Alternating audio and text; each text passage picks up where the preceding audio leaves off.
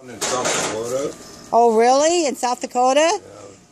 back in Texas, they got these hurricanes and tornadoes and What do you- snowed you take a 18 something? inches Uh-huh. in Denver today. How much?